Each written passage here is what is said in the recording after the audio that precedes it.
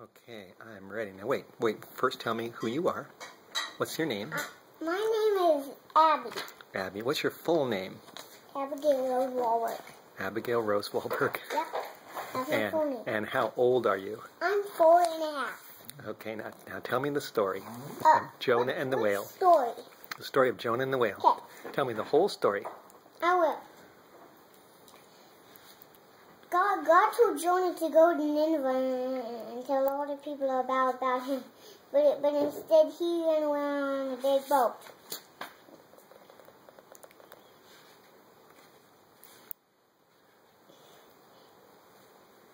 He he he saw a boat and he ran away.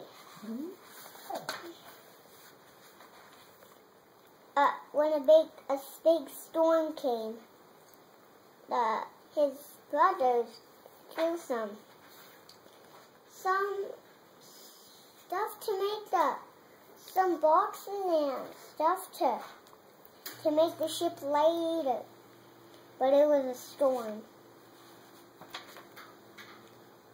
One of his brothers came in and told Jonah, "Can you pray to your own God?" And then Jo- Jonah said, throw me into to, to, to, to the water. And they, they did that. Then a big whale came in. Dad, can I just see something? Second. Then a big whale, Jonah was about to drown. And then a, and then a big whale came in and, and swallowed him up.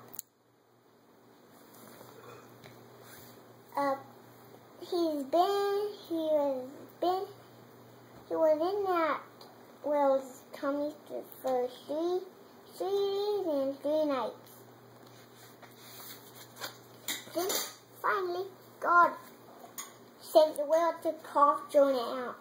Then, then, then he, then Jonah came, began to And told all the people about him. If, if if they wouldn't obey him, then God would burn burn burn the the city up. And, and, and that's what God did.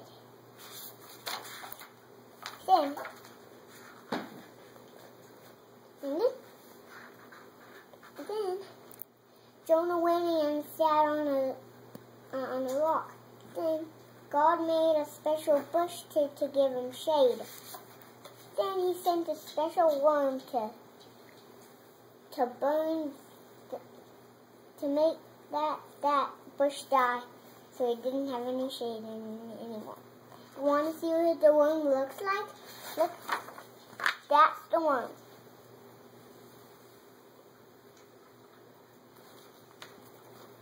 And then Jonah obeyed God. Can I see the video?